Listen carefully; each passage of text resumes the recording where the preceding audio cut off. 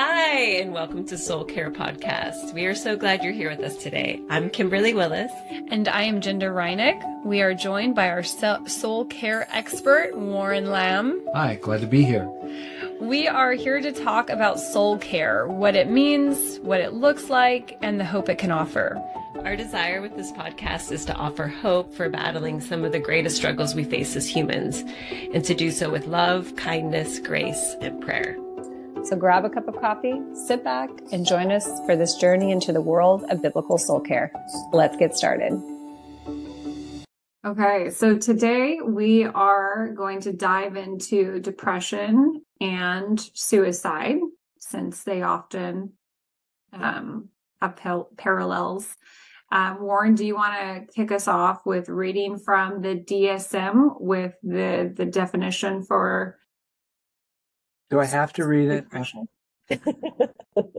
Please do. So if you look at page 183 of the DSM-5 TR, uh, it it lays out the major major depressive disorder, and it starts with the diagnostic criteria, and it's got a lot here, but it has nine symptoms listed, and it says five or more of the following symptoms have been present during the same two-week period and represent a change from previous functioning. At least one of the symptoms is either one, depressed mood, or two, loss of interest or pleasure. And then it says, do not include symptoms that are clearly attributable to another medical condition. So then the, it starts off with symptom number one. Depressed mood most of the day, nearly every day, is indicated by either subjective report feels sad, empty, hopeless, or observation made by others, appears tearful, appears melancholy. And it says, note, in children and adolescents can be irritable mood. So, in other words, if they're noting that children deal with this differently than adults do. Okay. Second is markedly diminished interest or pleasure in all or almost all activities most of the day, nearly every day. Again, subjective encounter of observation. Three, significant weight loss when not dieting or weight gain, a change of more than 5% of weight month weight body weight in a month, or decrease or increase in appetite nearly every day. Insomnia or hypersomnia nearly every day. Five is psychomotor agitation or retardation nearly every day, which is observable by others, not merely subjective feelings of restlessness or being slowed down. Five is fatigue or loss of energy nearly every day. Seven is feelings of worthlessness or excessive or inappropriate guilt, which may be delusional, nearly every day, not merely self reproach or guilt about being sick. Eight is diminished ability to think or concentrate or indecisiveness nearly every day, either subjective account or observed by others. And nine is recurrent thoughts of death, not just fear of dying, recurrent suicidal ideation without a specific plan, or a symptom suicide attempt or a specific plan for for completing. It says committing suicide. We don't use that language. And that says the symptoms cause clinically significant distress or impairment in social, occupational, or other important areas of functioning. And then C, the episode is not attributable to the physiological effects of a substance or another medical condition. And it says criteria A through C represent a major depressive episode. And then it talks about responses to significant loss, which we t- we've talked about before. And basically, it's it's like if you're having real struggles with living daily life, and you have these emotions, these negative emotions or or pressed down emotions that go with that, we're going to call that depression and it's every day or near all day or nearly every day. So it's an ongoing thing. It's not something you feel today and you're good for a few days. Right? so that's a lot to uh that's a lot, right? Right off the bat, right? I feel like that's a pretty heavy definition. So let's take a look at it biblically real quick. Okay, okay. the Bible talks about a crushed spirit and it talks about deep sorrow. Yeah, there you go. Perfect we have to understand that what the DSM 5 does is all it does is redefine what we already know. All this is is a redefinition manual. So when And you it- talk when you're ahead. talking about, you know, a crushed spirit and, and the Bible talking about that, can you just speak to a little bit like I think for some people dealing with depression, they're looking at a timeline of, oh, I've been feeling this way for so long. I need help now because the, my life around me is falling apart. Okay. When when things fall apart, right? We're supposed to be sad about that because when things fall apart, that means they are not keeping up with God's original design and created order. They're not matching that. And depression, what they call depression or this crushed spirits, this deep sorrow, has to do with significant loss. Remembering that we were never intended by God to experience loss. So when we experience loss, yes, we're going to be sad about it. And if it's a significant loss, we're going to be significantly sad about it for a while until we're able to sort through and integrate that into our overall story. What we're saying almost is DSM, which we agree. We agree that there can be a level of deep sorrow and crushed spirit that's even biblically speaking, and that there are times where we will face this. Yeah. Like I think that's like if we were to just say, okay, DSM, yeah, we agree there, there's going to be times where life is hard because we live in a world that is imperfect and that was not designed as God created it to be for his people. So now what do we do about that?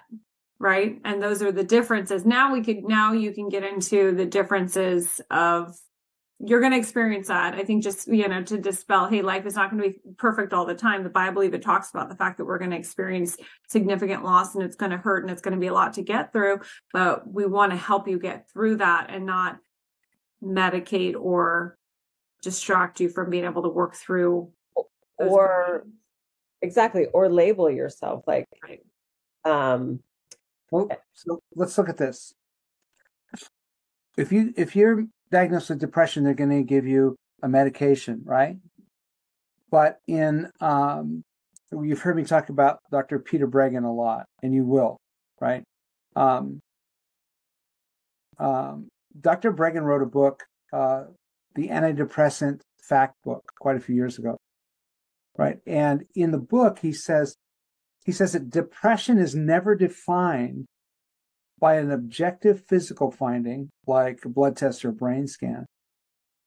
What it's defined by is a person's experience with personal suffering, especially by depressed or pressed down thoughts and feelings that that person expresses.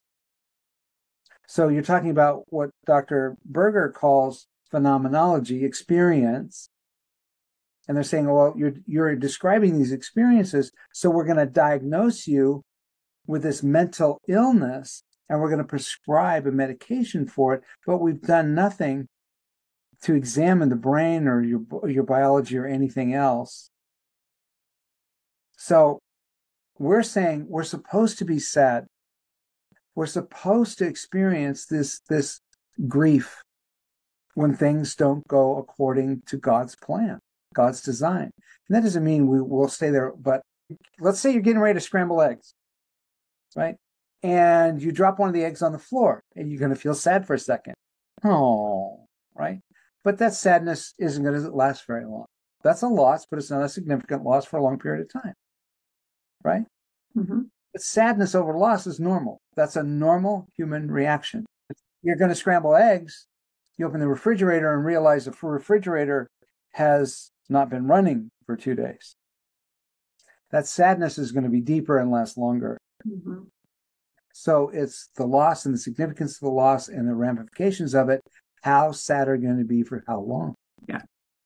So you think so would you say so someone who ha maybe has chronic depression they've had a series of losses right in their life that maybe that haven't been dealt with or Right. or, or they haven't had someone to walk them through those losses.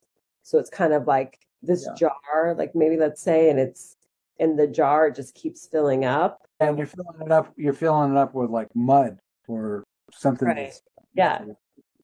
Right. Where, and then in a sense, like society wants you to get over it quickly. And if you can't get over it quickly, um, let's talk about a little bit of like, oh, okay, you've, you've, sig- you've, um, experienced a significant amount of loss. So now you're depressed. And, um, for instance, I know what, like one time, per- personally, one time, um, I worked with uh, a therapist, and he's like, "You've had you you suffer from depression because you've had so much loss in your life. Um, your brain, the serotonin part of your brain has stopped working. Let's get you on medication so you can understand, so you can just understand what that feels like, and get that working. So if someone's going to give that kind of advice, and what do you what do you say to something like that? Well, like we've talked about uh, before, we had that study released last year where researchers, clinical researchers, looked at all of the research that had been done on serotonin based depression since the 60s and said there's no empirical evidence supporting serotonin based depression. So that diagnosis is not based on any scientific data. Which I think this needs to be, and we'll include this in the show notes because I think this is a very, this is going to be earth shattering for people, some people listening, right? I mean, this is a really big. I was just in a Bible study couple months ago, and there's a woman who's who's been dealing with depression for about 18 years, um, and everyone at the table was trying to comfort her with kind of saying, "Well, it's not within your control. You have." chemical imbalances going on in your in your body and that's what's leading to it and that was supposed to be a source of comfort for her as though you know don't beat yourself up over this it's beyond your control the medication is supposed to help. But as we know now and as you just shared not only is that scientifically unproven that there are imbalances but also on the flip side the people that are taking the depression medication for long and extended periods of time they're not feeling better. No, they stay depressed. they stay depressed exactly. Their their wounds are still active they just are numb at times i mean the their their pain is still there it's so it's not really doing anything so See, now we're going back to the symptom relief thing. yeah We're Right. going to we want to feel better, or at least not as bad. But we're not dealing with the underlying brokenness. We're not dealing with the woundedness. We're not Right. dealing with the root problem. Right, because people I've spoken to who feel who are depressed and on some type of antidepressant, they just choose to stay on it because the sec they're like the second I get off it, the tears won't stop. yeah Good, good, good. let's grieve. Let's let's do some honest grieving over the significant loss that you've experienced because that's real and true and healthy. It is, but and that's and that's why we are doing this podcast because if you are someone who has been dealing with chronic depression for or not chronic but you've been dealing with it in a medicated way and you fear that just as Kimberly said getting off of the medication I am in deep sorrow. But no one that you've talked to knows how to help you. You stay on the medication because uh, medicated is better than dealing with something that feels uncontrollable right? I mean that those are your options. If you feel at a loss for the right help it's better to be medicated and numb than it is to be dealing with an extreme level of emotion and and depression that you just have no idea how to climb yourself out of right Yeah. So so for instance, Warren, if someone comes to to you and they've been medicated and they're tired of being medicated, but they wanted they want help with depression, what is wh- how do you help them? What is like let's say we have our first meeting And is that the kind of is that the kind of uh, people that come that are, hey, I've been on medication, I'm not getting any better? Often, often, Often, often. Yeah. I'm just started meeting with a young man. I've met with him twice now over the over Zoom. and he's been, you know, he's been on medication for years. He says, I, I'm tired of feeling like this. I'm tired of, I, I don't feel like myself. I hate the way I feel on this stuff. I said, okay. Um, let's talk about the feeling. Let's talk about those feelings that you have when you're not on the medication. Let's talk about what those feelings are. Let's talk about where they're coming from. And, and he, oh, nobody had really talked to him about that before. And what's really interesting is that um, he was led to believe what most of us have been led to believe is that we're not supposed to be sad, that sadness is not healthy or normal. One of the things we're going to put in the show notes, one of the references we're going to use is uh, Dr. Uh, um, Daniel Berger's book, Rethinking Depression, Not a Sickness, Not a Sin. Because Daniel does an incredible job of going through and looking at the data from the people who are in that field, right? Um, he quote he quotes people like Allen Frances, right? He was the chair of the DSM-4 task force, and he wrote a book called Saving Normal. Uh, Daniel wrote a sequel to that, a response to that called Saving Abnormal, which is incredible.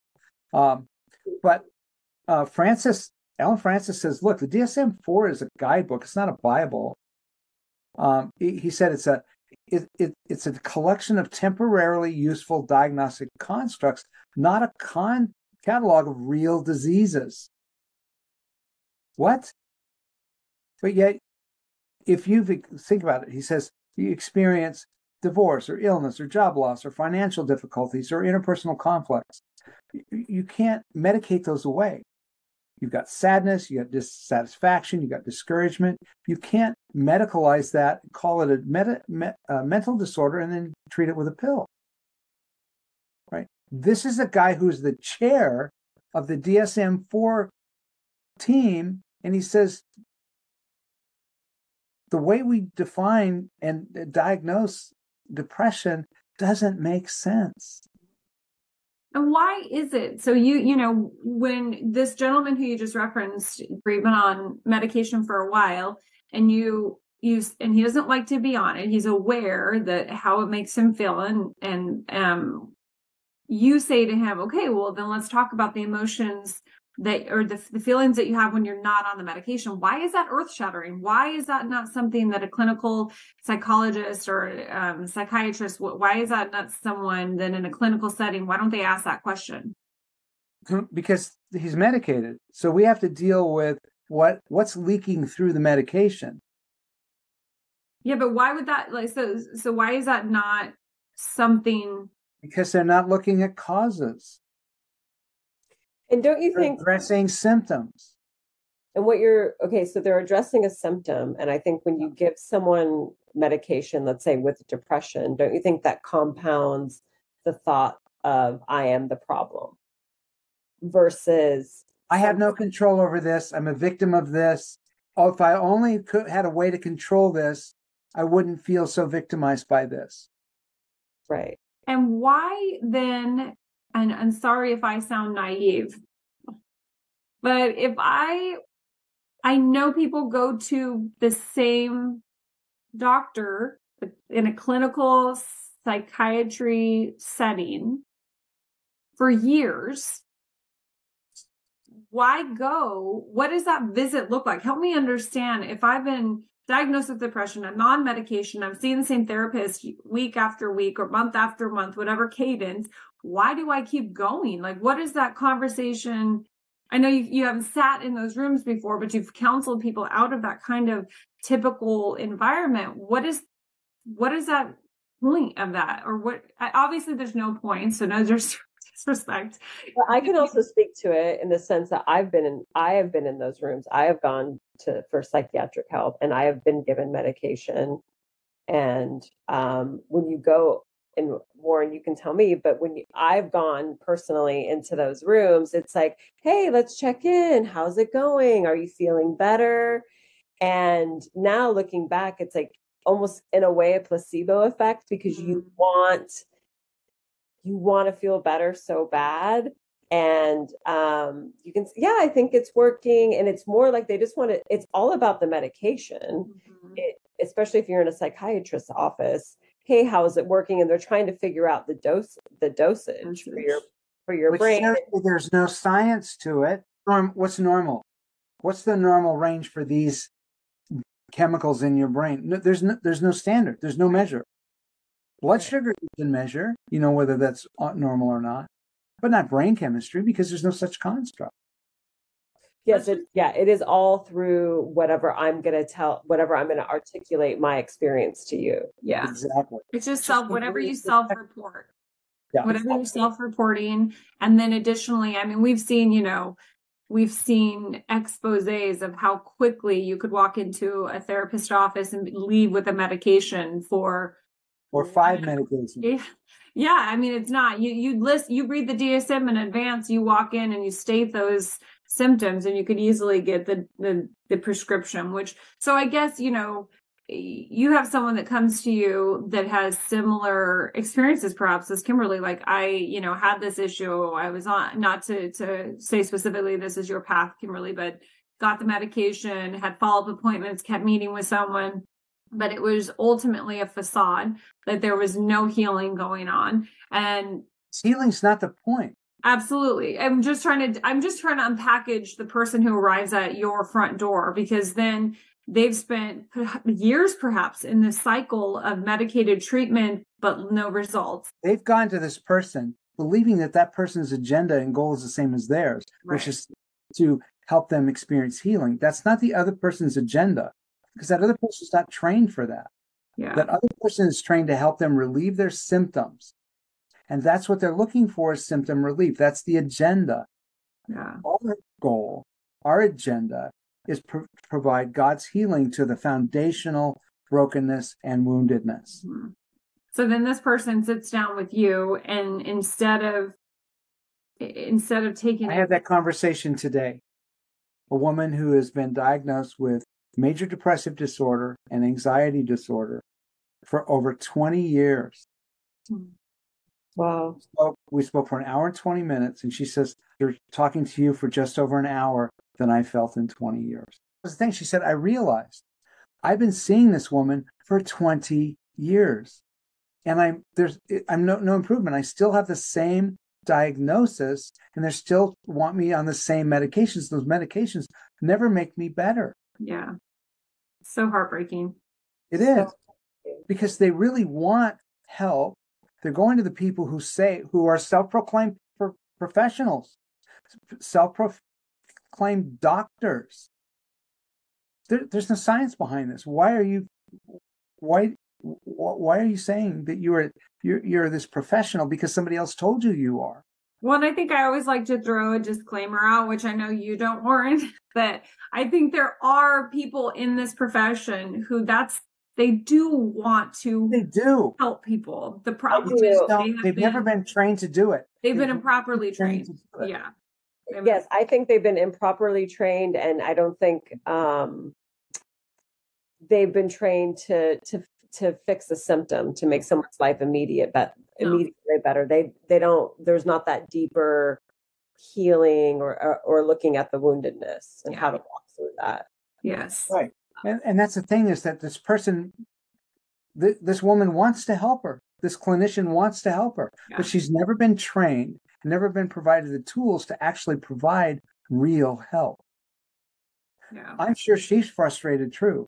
And it, it is really easy to say, I'm either a lousy therapist or my patient just isn't willing to do what The work. the work. Yeah. Well, what's the, but the thing is, the clinician's what's not going to give her any work. Yeah. It's just to say, well, we need to adjust your meds. but i want to say like because i do think there's a movement in mainstream um psychology where there are there are certain therapists who have come to realize that um that it doesn't work. They don't see their patients getting better. Yeah. um and so they they are they are trying to look and find alternatives Mhm. where um it's something that you've been you know you've been doing for a long time and with and within biblical counseling. But i do find that all of a sudden people are like oh no it's a it's an old wound that i need to heal and i need to work through. And um so there is a, a bit of awareness going on. But i think we should talk about how um when we work with God and the Bible and, and it's like this transformation, right? Where There's transformation because we're going to talk about how you and God are actually in agreement. and you partner together. Is that what You and God are in agreement that the, the losses that you've experienced were not part of his original plan. right? Yeah, I think that's, I think it's important, you know, to, and maybe you have a couple of scenarios you can explain of just this, these people, these two that in particular that you mentioned, this male who you've been working with, this woman today who you had an hour and a half long conversation with. Um, there was obviously some significant loss that they experienced, right? And, and to your point of, you and God are in alignment. God didn't want that, but sin is in this world and it's around us and brokenness happens and we have to we have significant loss, we have deep sorrow, we have a crushed spirit, but God's not God's with us along the way. So let's let's work with him to get to the healing on the other side of this, right? So what were like for these two people, what were some of the chronic or or the the losses they experienced that they over 20 years or you know beyond weren't able to work through So the 23 year old was uh, adopted at birth, right? And he was a meth baby. So he had he had some some damage done to the brain, um, and so there's there's loss right there of God's created order for him to be in safe, caring, loving, nurturing relationship with his biological parents who are going to be lovingly married to each other for their entire lives. Okay, that whole thing got disintegrated for him the day he was born. Right. So yeah, he has an adoptive family, which is Plan B. It's not Plan A.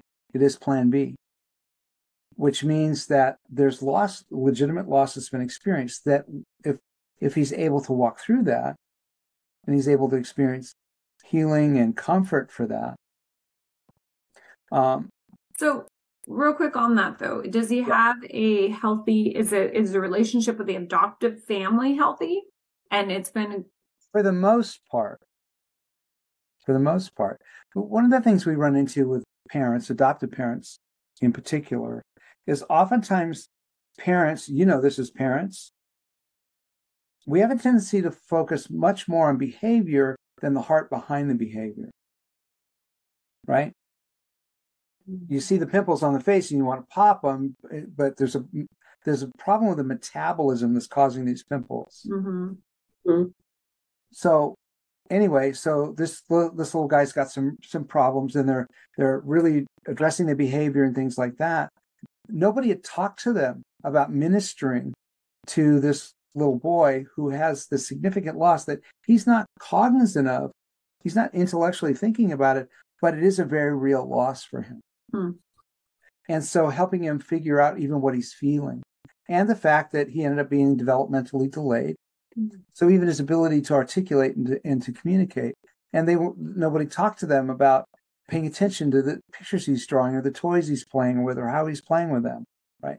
So all of these things that would would be his way of communicating what's going on with him, they were unaware of. See, no fault of theirs, and so again, they're providing a loving home. They're solid believers, right? As he gets older, um, he runs into not just behavior problems, but now he's running into problems being because of the way he talks and the way he moves and things like that, and not being fast, being kind of slow. Now he's being teased and taunted and bullied. So he has all of those dynamics. So there's more loss that goes on, right? And he's he never learned how to, to address those things with God as his partner, right? And he and I've met I think we've met twice now. We've met twice now. And it's completely up to him whether we, whether we continue to meet. The second, after we finish the second time, he says, are we going to be, are we going to meet again? I said, that's, that's your call. Do you want to? He said, I really do. Because what he's, he feels hurt. He feels understood and he feels encouraged. Mm-hmm. Because he keeps hearing about how the goals that he has in life, he can't, he can't manage. He can't get there. Mm-hmm.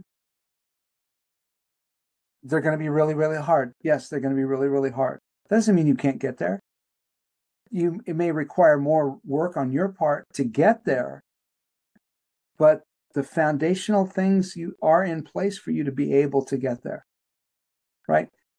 You know, this kid managed to earn Eagle Scout.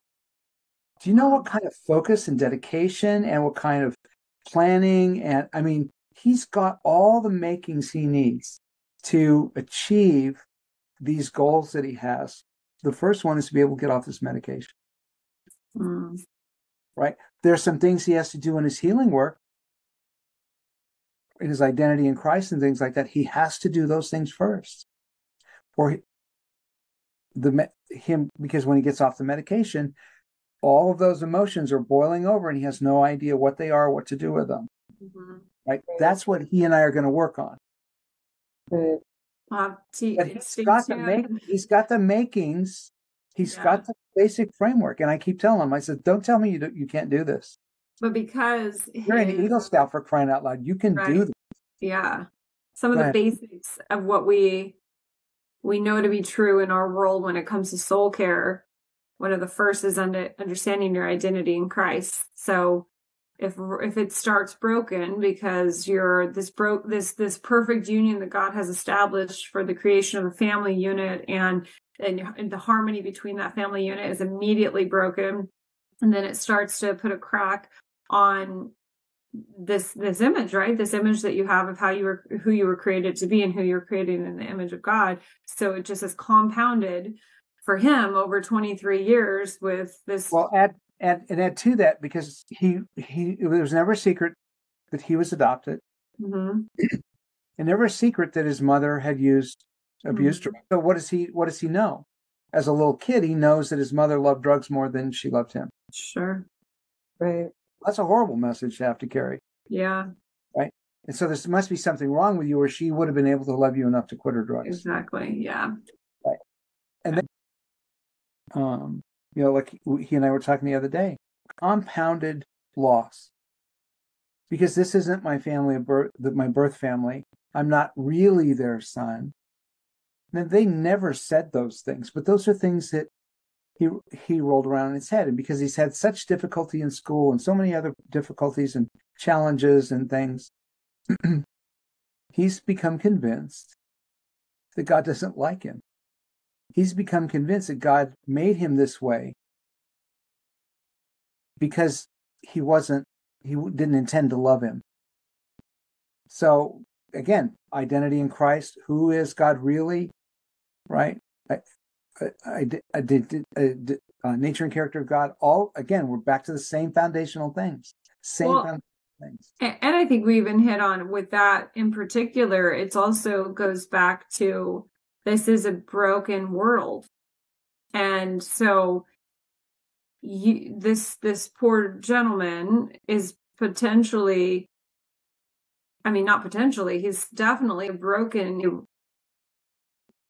His experiences in life are not what god had originally intended for him to experience but because of brokenness and sin on behalf of his mother and how she used and the what that has caused that yeah. that doesn't mean that you are less desired or desirable, that God didn't love you more. It means that we're in a broken, fallen world. And that's that's hard for um to be trapped in your own mind and filled with these these doubts all the time of your worth if that isn't understood. You know what I'm and I guarantee you that as as he works on he's already working on saturating on scripture already has one passage of scripture and Right now, he's reading it out loud three times a day. That's what we're working on. First thing in the morning, at lunch, and last thing at night. Okay. Now, yeah, we're going to build on that, mm-hmm. but getting him, getting him to believe he can and, and that he does do it three times a day, his mother is like blown away. Right. Yeah.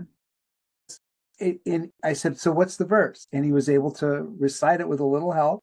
I said, that's great. That's great. I said, now what is, what is what's the significance of that? He said, well, God wants me to know. That's how he started. Already two weeks. Yeah. And like I said, he's grown up around these things. But what he needed is he needed another voice outside of his family to reinforce these truths. That's how the body of Christ works. Yeah. Right. Right now, fortunately, the clinician that he works with is a minimalist. She wants, she uses the minimum, absolutely bare minimum of drugs she feels are necessary to keep his symptoms managed. So I'm very, very grateful for that. And so are they. That tells me that there's a lot that God can and will be able to do in this. I think you this this is such a good example um, or case study because this child was raised, or he's not a child, this young man was raised in a Christian household, even though he was adopted, right? He, he was born into a, a household of believers and he's heard these scriptures throughout his life, but this is to apply them directly to your circumstances or to understand the transforming power of them can be a new process as you go through soul care, as you really understand the word and you understand what the power of those words. You know, I grew up in a in a same kind of household. I grew up going to church every Sunday. You know, church again on Wednesdays, celebrating all the the the holidays, only listening to Christian music, all that stuff. And then uh, as an adult, you know, life was harder than I thought. And I faced struggle and I had setback and I had significant loss and I had all these things. And it's interesting because it got to a place for me where the words in the scriptures I had heard so often, they it didn't mean much. It didn't mean much. It was like, yeah, I know God died on the cross for me. I know I'm, you know, he washed away my sins. It was like, yeah, I've heard that since I was five, but I need help. I need more help. I need something more. And it took this, it took soul care. It took this process. It took unpackaging um, this with someone else. It, it took understanding where I was broken in my reflection of the, of my, you know, being created in God's image for those words to now bring hope, for them to be powerful and not just words that I've read for my entire life. And so I think it's, I think it's interesting because it, this isn't just monumental for someone who finds and becomes finds the Lord and, and, gets saved later in life. Life. I mean, most of the examples I have of people that are chronically dealing with depression are in the church. So I yeah. mean, yeah. right? I mean, this goes to show that we it doesn't. It's not isolated to the non-believers. It's isolated. It's it's a problem we deal with in society globally. Yeah. Eh, understanding how to work through the loss. Yeah, and and you, you said something that's really important. You said you said you knew all those words, but there's there's you their meaning, their significance had been lost. Mm-hmm. That's what soul biblical soul care brings. Mm-hmm. It's not just the word, but the meaning and significance of what the word has to mm-hmm. say. Right. Yeah. Right.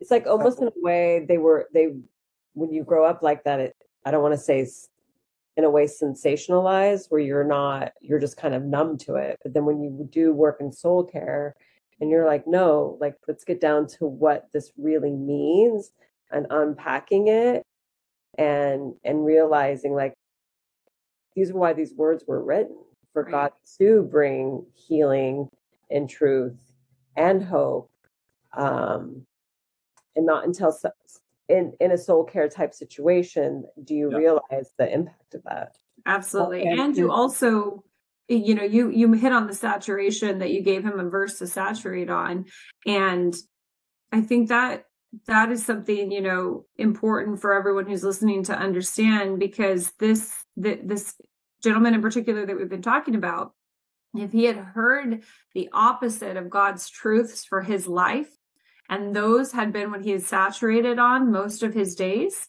because we're always you know you always say we're always saturated on something we're always set, we're always thinking about something things are always running through our head. But if if those are self-doubt and lack of self-worth and and the lies that we've let the enemy you know lead us to believe then the only way to disrupt those thoughts is to saturate on the wholeness of his word and the truths of his word and that's through the scripture saturation. And so you mentioned, you know, he says it out loud. And and I think out loud is just key because it breaks up those thoughts. You know, if I'm thinking, if I'm going through a self-deprecating moment of the day and I'm I'm caught in these lies, if I verbally say a scripture that God's put on my heart, or if I'm reading the word and I'm reading out loud, it does break up my thoughts and it breaks up the lies that have just compounded and, and filled my mind for so long. So I just wanted to hit on the saturation because it's it's definitely a key to breaking up the pattern that we find ourselves in of of negative thoughts. Yeah. And he is sad. He has things to be sad over. Yeah. Like he, he had he was doing an internship on a job and one of the guys there was just nothing but mean to him. That hurts. That makes you sad. It's it's appropriate to be sad over that. It's appropriate to be wounded over somebody being a jerk to you. Yeah. That's not bad or wrong. The thing is, is that medication isn't what the end what you need to resolve that. Yeah. Right. Thing is, is that he hasn't been taught the the, the skill set he needs to be able to handle those things with God. Yeah. And that's that's what he and I are going to work on. Yeah. Let's talk about the other gal real quick. Okay, 20 years. This gal's a solid believer, right? 20 years seeing the same therapist, diagnosed with major depressive disorder and an anxiety disorder, right? And has she ever been suicidal? Yes. Okay. Well, sure. Right?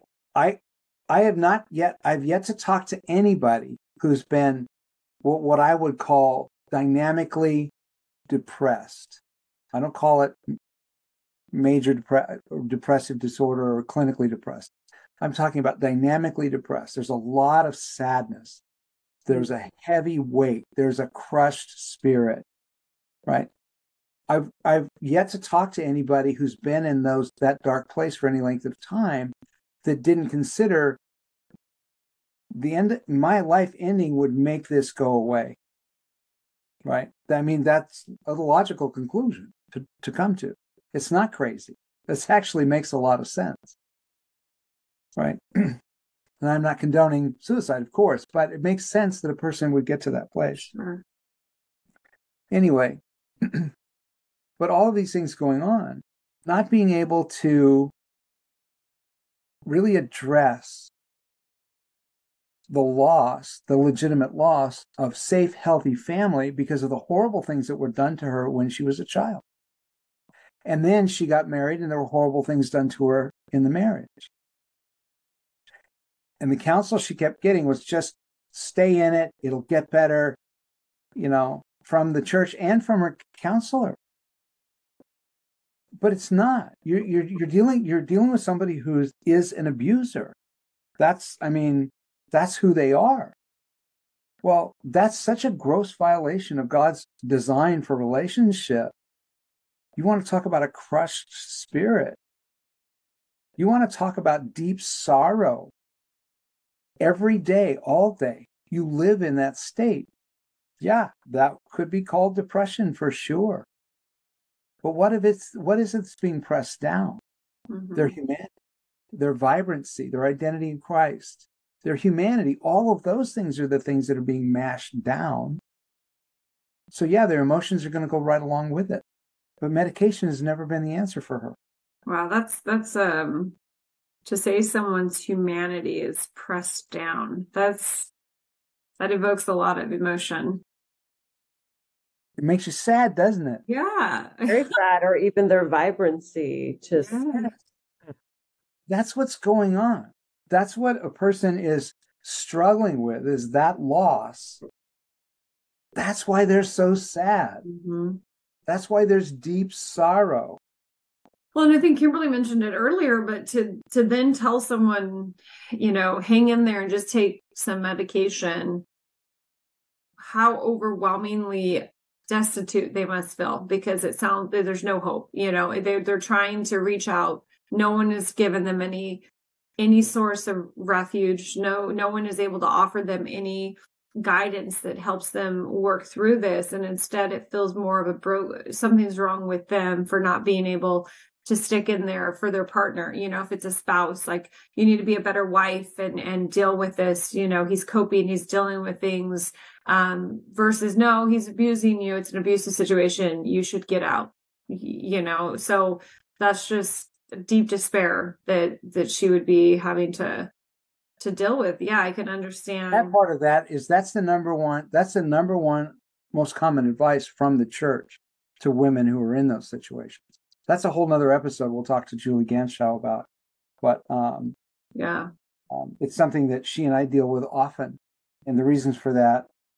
But so now you go to the place that's supposed to give you God's wisdom and God's help, and you're told, "Suck it up, Buttercup."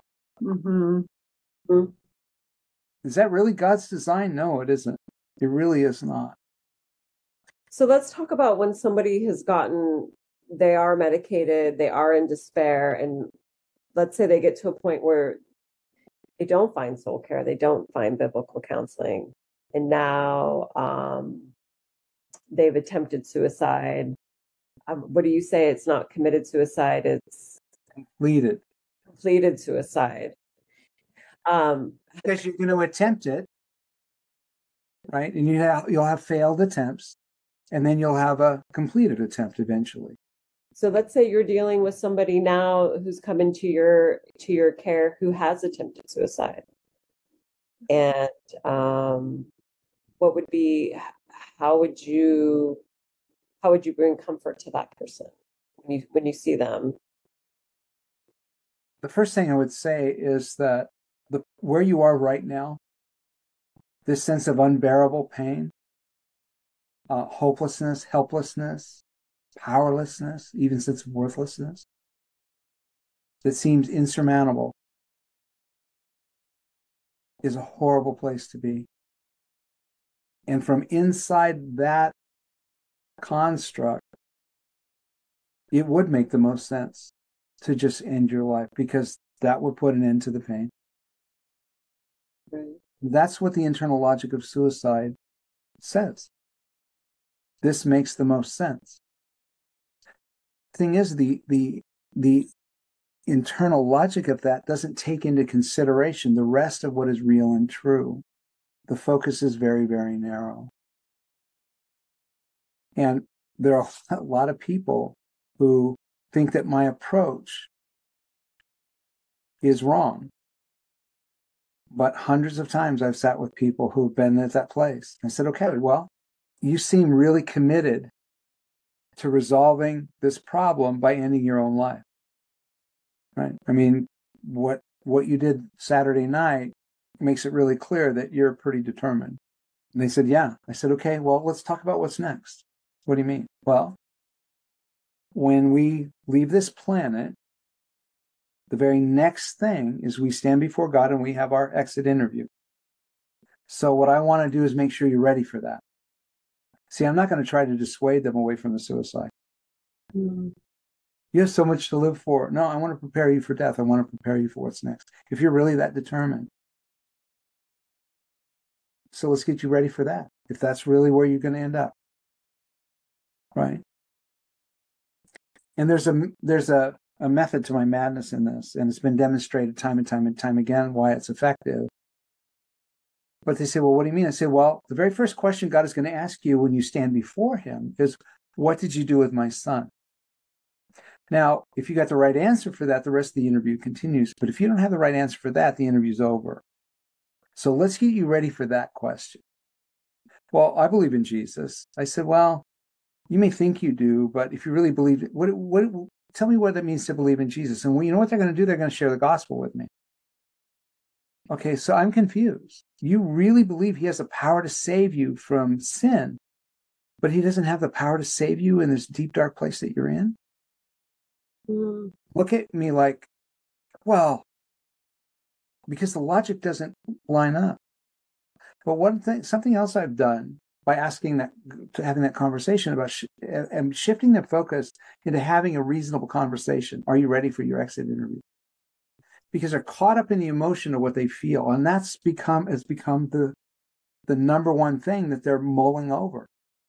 It's all those dark emotions, all that hopelessness, and everything that goes with it. So what actually happens is instead of being caught up in the emotion, what, if I ask you a question, what happens to your mind? What does your mind do? It starts thinking. It's doing it right now. It's looking for an answer, isn't it? Mm. See? so then I said, Well, help. Okay, I'm confused. Help me understand here. If I ask somebody for help, right? They're going to seek to try to be helpful. This is this is how human beings are. So we've shifted the focus. We've got them thinking a little bit rationally. We got them thinking about how to be helpful. Help me understand, uh, because these things don't go together. So help me understand them. I'm not. I'm not saying anything negative to them or about them. Right. Okay. Because you have to understand that this person has become so convinced that they are the problem. They've actually become embittered toward themselves. Which in in light of our conversation makes absolute sense that someone would feel that they are the problem because they have been told nothing else except for grin and bear it, take this medication, you've got chemical imbalances going on, nothing that is, you shouldn't be sad, you know? All of these things that are making them think, well, I am sad. Why? What's wrong with me? I do have to take medication. Why can't I just be happy? I had, you know, why can't I get over this? Why can't I just get over this? Why can't I, you know? So yeah, they, they there's no surprise now why they are caught up in this belief that they are the problem, eh, which is just heartbreaking. Yeah. Mm-hmm. Yeah. Yeah. We have to remember that suicide is rooted in significant false beliefs. Right. Right. It's also a sinful act, but it's multi-causal. There's there's a lot of things that have led up led a person to get to this place. The pain is real. We have to acknowledge that. We we don't dare say, well, you don't you shouldn't feel that way or it's not that bad. It is that bad for them. Right. Don't just don't disavow that. Don't disqualify that.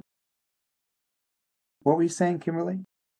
I wanted to say let's how would you comfort a family? Let's say so we, we can acknowledge that the pain is very real and they and and the person who completed suicide um, felt that that was the best life would life would be better and anybody around them would be better off with them not existing anymore and then now a family member comes to you how do you and they're seeking some type of comfort or understanding or you know there's all these emotions. They're angry at the person um then also taking on like responsibility. Mm-hmm. yeah. How do you so how do you someone walk through that? The very first thing that suicide survivors struggle with is how did I miss this? I should have seen this, right? So now they're going to blame themselves somehow, uh, believing that they were somehow omniscient and sovereign to be able to know everything and be able to cause this person to not make that decision. So now they're putting an undue responsibility on themselves but it, also seems to not make sense. So they're trying to make sense of something that seems senseless. And remember, the internal logic of suicide doesn't conform to the lo- logic of regular life. So that's why it seems senseless, right? Um, they're going to struggle with um, the stigma that goes with having someone in your family and their own life. Um, because I should have seen this. Other people could say, well, why didn't you see this? We that's our assumption, right? There's a stigma that goes with that. Because part of that is, well, if one person in your family suicides, other people in your family are going to suicide. You people are now not safe for anybody, type thing. That's that's a myth. That's not true. Yeah, if somebody in your family su- uh, completed suicide, it's more likely that it'll since that film has been broken, it's more likely that it'll be considered but not necessarily that it's more likely for suicide to be completed. Um, but also understanding that um, the the second biggest question we get, other than why didn't I see it, is where are they now? Those are the two number one questions that we get. So as far as you have to understand the reason you didn't see it is because your loved one was not able to communicate what they were feeling in a way that others could interpret, could see, or understand, because they themselves didn't understand it. Exactly. Okay. And I said, as far as where they are now, um, I don't, I tell them, I do not follow the teaching of the Roman Catholic Church that says that this is a mortal sin from which there's no possibility of repentance. because murder is a mortal sin and you cannot, that's why it's called suicide, self murder, right? And so um, there's no way to repent of, be forgiven for murdering yourself because you're dead, right? So that's where the idea came from. Said, I don't hold to that view. Was this person in their right mind when they ended their own life? Right. Well, I don't believe so. I don't believe they were connected with reality. And so God knows what that person's, whether that person ever had surrendered their heart and life to Christ. And them getting to the place where they despair even of life. Okay. That's a crisis of faith. I don't see anywhere in scripture where a person is condemned for eternity for a crisis of faith that they don't win because they're struggling with their faith. Mm-hmm. Okay. Now, God knows whether a person is qualified for heaven or not. So, what we're going to do is we're going to trust in the wisdom, the, the justice, and the righteous grace of God. That if this person had surrendered their heart and life to Christ, he that person is with them now. Okay. If that hadn't happened, then we can't say that they are with him. But he's the only one who really knows whether they ever did or didn't. So we're going to focus on the righteous justice and grace of God. That's what we're going to focus on. Remember, God does not desire anyone to perish, but for all to come to repentance. So that's was his desire for that person. And if they ever got to that place, God accepts that. That's what we're going to hold to. God's not looking for ways to disqualify people. He's looking to get people qualified, and that's through repentance. Again, did they repent? Did they surrender their heart and life to Christ? We're going to trust that they did. Right? The, from what you described. Okay. Now, I will tell you this. Up to this point, as many years as I've been doing this, I have never had anyone who attempted suicide that I counseled post attempt that ever went back and completed suicide later. Wow. Now, I feel like you needed to also say that because you, you have a very unconventional I do path. So that's that's good for but you know that one one in five licensed clinicians have had clients complete suicide. And I if you survey the biblical counseling community community, you will not find those kind of numbers. I think that's evidence of our goal with sharing this is we feel like this is where often people go to find true hope and help when the world has failed them. Yeah.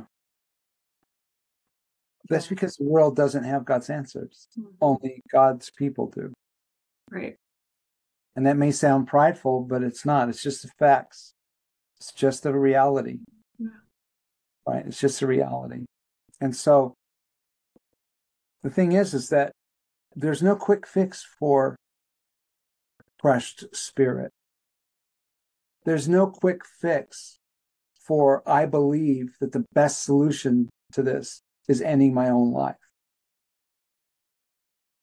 But there are anchor points that we can establish in that person's heart and mind with loving truth. And that's what they need more than anything, because that's what's missing at this point. It has to be more than intellectual. It has to be something they can actually experience. And that's what we bring in soul care. um, I was just going to say, I think that, um, you know, that's why soul care is so beneficial, is like what you're saying, is coming one anothering with one another, connecting. Um, and as you say, words matter and properly interpreted scripture and giving that hope and um and and knowing that it's it's we're not going to take care of a symptom. We're going to get down to the core to the core wounding of it. We're going to be here and walk walk through it with you. Right.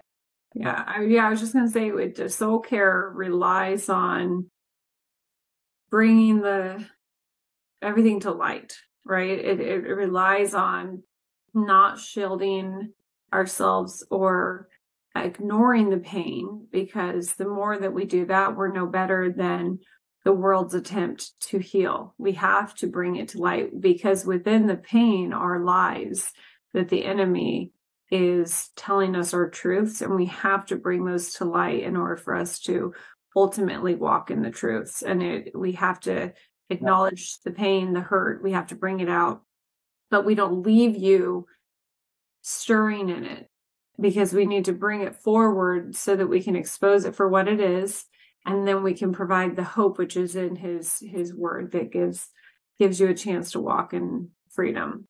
Well when we're talking about depression and suicide we're talking about severe hopelessness yeah. and helplessness in that hopelessness. So that's what they need. They need yeah. to know there is hope and that they can actually be helped yes one thing i feel like we didn't necessarily hit on is more of what I would call like the functioning depressed or the um because you know the DSM called out those nine symptoms. Yeah.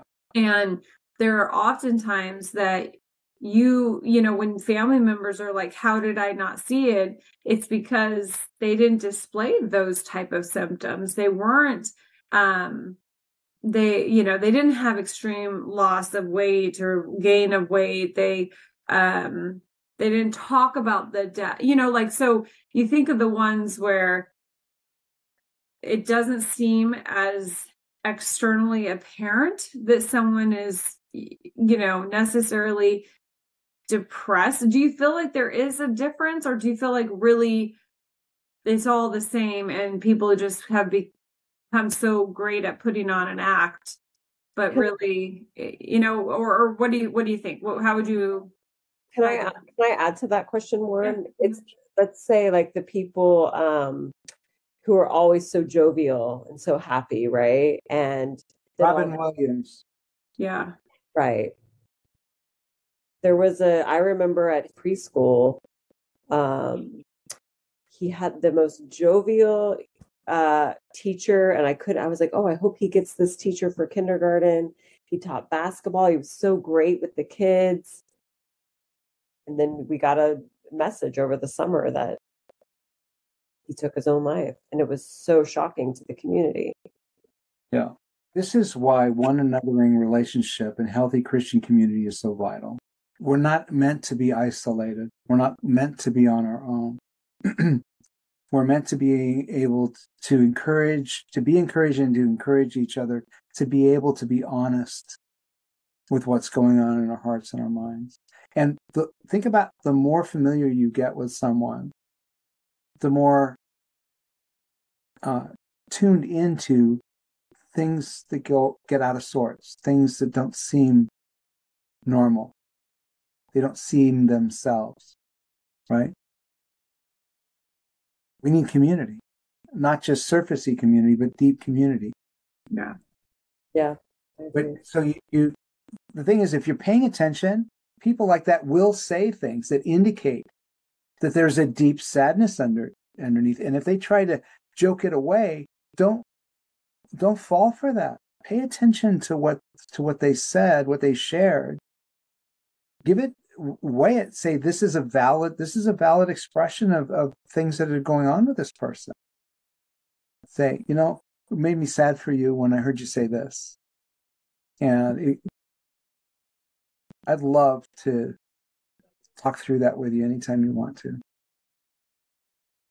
Right? I think that's. Well, think let's take Robin Williams, for example. I remember watching him years and years and years ago, and there was always something that seemed underlying sad about him. Right? But almost like he was trying to make himself feel better. Mm-hmm. There was something deep and sad underneath it all. And clearly, he was. Right. But that's the thing is that that that was something that even you know I, I mean we're talking what was it the 70s when they did uh, Mork and Mindy and all that stuff, right? Because I can remember that there in his humor and stuff, and yeah, he's hilarious, um, very quick, but underneath that, there there was always an there was always a sad edge to everything, right? And it was like it wasn't seen or it wasn't noticed or it was minimized or, you know, he never he never experienced an opportunity to feel really safe to share those things or, you know, safe in his own. But again, and I'm not saying that his his suicide could have been prevented or would have been if if only this or only that. What I'm saying is paying attention to those types of things. Don't second guess that check that you have. Say there's something here that's not right. Something here that's not not jiving for me. Follow that up. Well, and I think that takes a, you know, a desire and it also puts an onus. We have to care about having authentic genuine relationships with people. You know we we have to try to get past the surface of what people are saying. And just to your point you know when when someone is making a joke and it doesn't you're at first you're kind of like that was that was a bit far out there you know that's i that's that's interesting. You know don't just let it roll off your shoulders. Just to to what you said go back and be like hey that's are you is are you okay? Because that's kind of an intense joke. Tell me more like are you you know but it takes it takes an authentic desire to care to care about people really to build relationships and connection connections and i think asking the uncomfortable questions that other people may not ask you know or that that that people don't want to get into but no that's a good point sad well if, if and again, being in a healthy community is really important and being invested in the one another's. Yeah. It's not just it's it's not really optional, it's a mandate for us. Right? We need to be in each other's lives, we need to be in each other's business a little bit. Yeah. not do. because we're being nosy and controlling, but because we really care and people need to know because, that yeah. People we need to know that we care. I, there was a study that came out about how um, just talking about you know dopamine oxytocin serotonin and you know how everything is on screens right now and and and because everything screens social media there's a like teenage suicide rate is up 500% yep.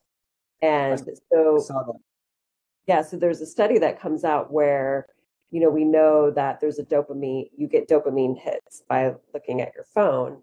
And then I'm I'm curious, um, you probably already know this, but they were saying, but when actually when you're talking to a person in real life, having a real authentic connection, then the oxytocin and the serotonin, all three are working together. And I thought that was pretty profound, mm-hmm. where um, if you kind of if you look at that and you look at God's design and then you realize how really important authentic connection in person is, you know? Yeah, very much. Very much. And that goes back to God created us to be in safe, caring, loving, nurturing, healthy community. Yeah. That's what he created. That's he created us for that right? And so when that's lacking, we suffer. And so um, I think that I think for in our show notes we want to make sure that we include passage of scripture which is a real promise, and it's uh, Psalm 34 verses 17 and 18. He says, "When the righteous cry for help, the Lord hears and rescues them from all their troubles." In verse 18, I love it. The Lord is near to the brokenhearted and saves the crushed in spirit. What an incredible encouragement. Incredible. It is. See, the Bible talks about this stuff robust. you just have to know where it is. You have to know where it is. And I think, you know, as we talked about before, it has to become relevant and alive for people, you know, but it, and that only comes with someone doing that. You know, the more that it just feels like old words you know or old stories and and not applicable to you but that also comes back to understanding your identity in christ because the word was written for you for today and not just for people back in the day and so you have to understand that too so interesting how it all comes full circle Thank you for listening to the Soul Care podcast. We pray this has been a blessing and an encouragement for you. We want to leave you with four thoughts to reflect on. Is your identity in Christ or something else? How well do you understand the true nature and character of God? How much confidence do you have in who God is? And how does all of this impact what you are struggling with today? If you desire to learn more, check out the show notes for more resources and information. And please don't forget, you matter to God.